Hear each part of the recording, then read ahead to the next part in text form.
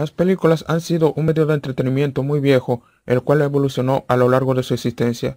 En sus inicios solo se podían visualizar minutos, pero posteriormente dejó de ser lo que se consideraría como una foto en movimiento y se convertiría en un arte revolucionario en su tiempo. En aquella época al menos se podían hacer cortometrajes y el cine aún era experimental.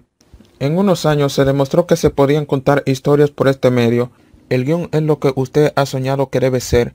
La película es lo que usted termina. George Lucas, Forbes, 8 de agosto del 2015. Así empezaron los largometrajes a blanco y negro, sin audio que se convirtieron en grandes clásicos.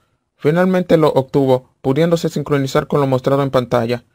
Antes se realizaron experimentos para darles color a los filmes, pero habían dos costosas formas, trabajando toda la cinta de un color o con más poco a poco. Esto cambió con la era del Technicolor, dejando grandes películas con esta técnica de coloreado que sorprendió a muchas personas por sus efectos especiales y fotografía nítida. A lo largo de su proceso escalonado, se iba convirtiendo en la expresión artística más compleja, ya que se implementó de manera masiva, logrando conseguir su poder adquisitivo creciente, creando un revuelo en las masas, que a su vez contribuían a la expresión de este, con la aparición de muchos directores, quienes eran los encargados de expresar experiencias que enriquecieran la cultura del séptimo arte por circunstancias ajenas lo harían cambiar de rumbo.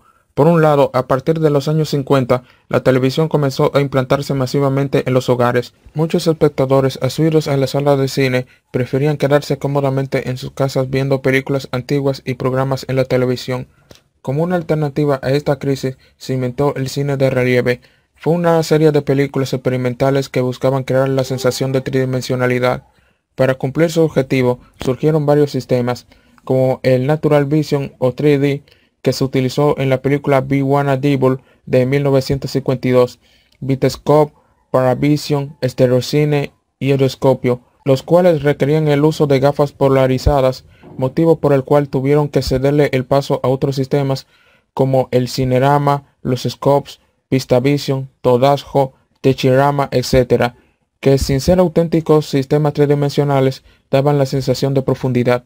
Poner en duda que el cine en relieve sea el cine del mañana es tan ingenuo como dudar del mañana en general. El cine en relieve, Sergei Einstein, recopilado en libro de textos y manifiestos del cine, editorial Cátedra 1989.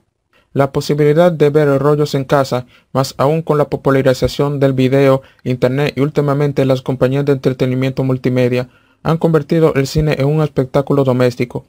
Tanto como la tecnología en este mundo ha progresado de una forma notable, el lenguaje cinematográfico también ha dado pasos a los géneros que comprenden la industria. Finalmente, está correcto decir que el universo fílmico ha crecido con la sociedad, concediéndole un lugar que siempre tendrá en la cima del gusto popular.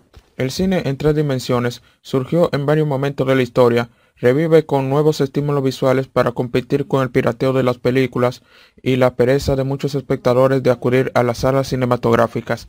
Lo positivo es que se sigue investigando y aplicando nuevas técnicas digitales y en buenas manos cinematográficas pueden producirse magníficos productos. El cine en 3D abre nuevos caminos. Enrique Martínez, Salanova Sánchez, Cine y Educación, julio del 2017.